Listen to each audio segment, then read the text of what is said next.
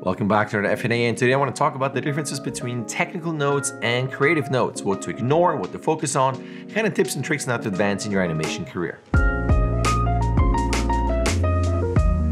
And this is going to be a true FNA for new animators because this is something that students face all the time. They submit their shots and they get notes, that's it for me, and they can vary. They can be fix this pop versus this is not as funny. But funny is kind of subjective, and this is why I want to differentiate between technical notes and creative notes. But before I continue, if you're new to this channel, hi, my name is JD, and I do animation lectures like these. I do animation analysis clips, I do acting analysis clips, I do rig reviews, product reviews, news, all kind of stuff. If you've been on my channel, you know this is the beginning pitch. If you like those things on my channel, browse around and subscribe. If you want to, if you not, just stick around and see if you like it and maybe you come back. But that's that for the pitch. Let's get back to the topic at hand. We are now on a summer break in the States. That means I have finished all my spring semesters. I teach at the Academy of Art, I teach at Animation Mentor, and I have my animation workshops, which you can plug, you can check in description, you can sign up whenever you want to. But what I see a lot with the students, because I've had a lot in the spring semester, is that sometimes they have difficulties understanding what is a note they should really address, what is a note where it feels a bit like it's compromising their vision and should they ignore that. Sometimes they also get notes from friends and other teachers or other mentors and just it gets kind of convoluted. Maybe they're a bit overwhelmed in terms of, well, what should I focus on and what is actually going to help. So right off the bat, technical notes you should always address. So if you show your shot and you get notes about the arc is, you know, is not smooth enough, has a pop there, or something is funky about, you know, if you trace the tip of a sword or the nose or elbow, just certain technical things you should address, right? It's like arcs and pops, or even something in communicating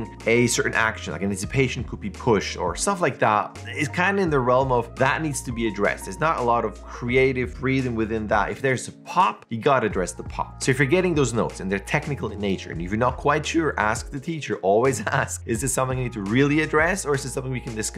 But if it's technical, what I would highly recommend is to write it down. So when you get those notes, don't just write down, I gotta do this, fix the shot, and then submit, and then get the next round of notes. If you do that, you're gonna be constantly stuck in a loop of feedback where you won't progress because you are dependent on the notes. So if you do the shot on your own, you're not gonna be able to fix those problems because you're always waiting for someone to tell you what to fix. So as you get those notes, write those down and then make a list. Arcs, pops, whatever it is, visibility, eyeline, stuff like that. And if you start seeing a pattern where like, I've been getting those notes about pops, for instance, all the time, maybe I should really focus on that. There comes a point where you've gotten so much feedback that you should be able to have a list of, okay, I've been hearing this all the time. These are technical notes. I should go through this list first, fix all that, and then submit for review. So again, the big tip is that don't just rely on notes all the time. You need to be able to learn from those notes, understand that this is something you should always address, make that list for yourself, and then go through that list before you submit for review or whatever you have in your school or even at work. Maybe you're just starting at work. Because there comes a point, and I see this a lot in my classes, in my workshops, is that if I start week one, right? You see the shots, you learn about the teacher, the students, it's fine to get all those notes. But if it's mentor by week 11, 12, or if it's academy by week 15, or my workshops by week 16,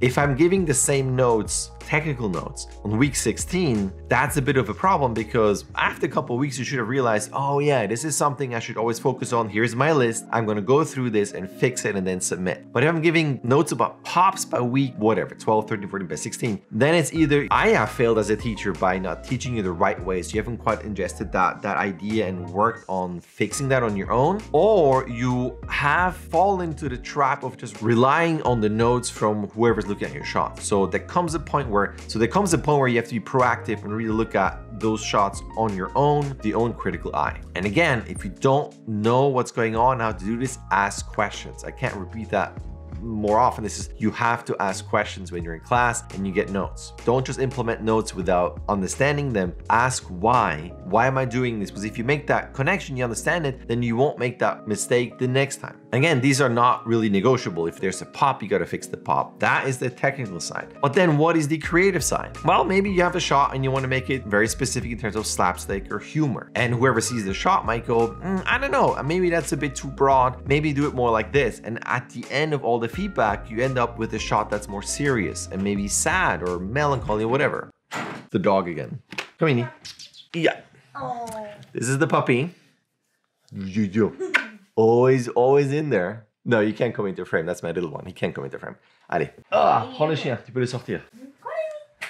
Tu peux fermer la porte, s'il te plaît? Second in a row, the dog. Anyway, going back. So you might start with a shot that's funny and you're gonna end up with a shot that's sad. The problem with that is that the shot, the humor, kind of your sensibility of what's going on with the creativity, that is you. That is what's going to make your shot stand apart. And you should be careful that whoever is reviewing your shot and giving you notes is not steering you in a different direction. That being said, you might have something that's wildly inappropriate. And yes, that needs to be corrected. Especially it's, let's pretend you want to send it to a specific company and the teacher works at that company. They kind of know better what that company is looking looking for. So definitely listen to that. But my point is that there is a level where you work as an animator. Again, for new animators, you're working, it's all technical. And there comes a point where you reach a technical level where you're pretty good. And now you can focus mostly on creativity. And then it will be very subjective. The acting choices will be very subjective. And then the discussion with your teacher mentor is going to be a bit different because you might think something's funny and the teacher think it's not or whatever it is. And then it's okay to kind of push back. I think, in my opinion, it's okay to tell the teacher, listen, technical notes, these are great, but I really want this to be like that. Can you help me make this just better, but not change the idea too much? Because you don't want to have someone that animates through you where your teacher or mentor gives you the notes and the end result is what they would have done, but it's not your shot anymore. Because if you look at the landscape for demo reels and everything, everybody's at a very high level of polish once they submit for demo reels and application and all that stuff. So this is your minimum level that the polish needs to be really high. But what's going to set you apart is the the idea behind it, the creativity, the, the humor, the originality. And that's something that comes from you. So I would really hang on to that and not compromise that, if that makes sense. Comment if that doesn't make sense. So don't compromise your creativity, but fix the pops, basically, if you could summarize the whole thing here. Maybe you have problems addressing those things or raising those questions because maybe you are intimidated by the teachers, or you really want to work where the teacher's working at, and you feel like if I ask questions, I'm questioning the wisdom of the teacher. That is not the case. You are the student, and the teacher is supposed to help. There's, there shouldn't be any ego involved. So if you don't understand something, then you need to ask questions, and there shouldn't be any type of repercussions. Now, if you disagree with the teacher, that's fine too. You can absolutely disagree. You can't disagree on a pop, technical things, like I said, can't disagree. That's just something you gotta fix. But if it's a creative aspect where you feel very strongly about something, it's okay to discuss. And you can say, you know what, I don't know.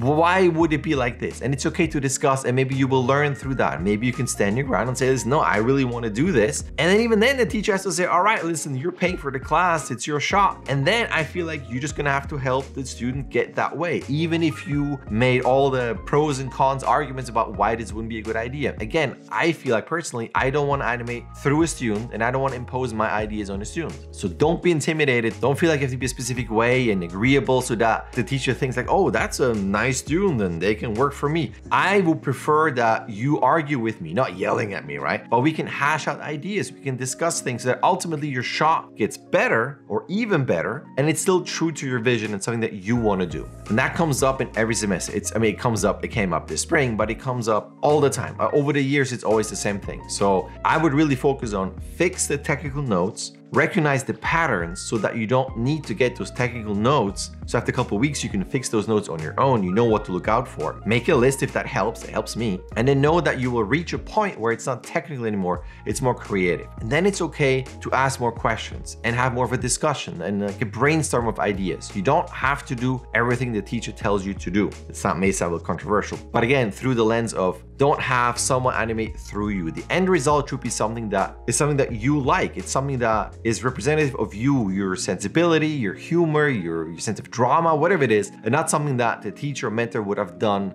in your place. Hope that makes sense. As always, comments are open. Any questions or discussions, feel free to let me know and we can we can continue with that or I can do a part two if you want to. And if you feel like all of that is reasonable and you want me to work with you on your shots and I will listen to you and your notes, I have workshops to pitch again towards the end. You know you can sign up at any time, link in the description with all the information. And that is that. And speaking of time, as always, thank you for watching till the very end. If you're still watching, thank you. And subscribe if you don't miss any of those clips. If you feel like that was cool, I don't want to miss the next one, subscribe and hit the bell button. And that is that. I will say thank you and I will see you in my next upload.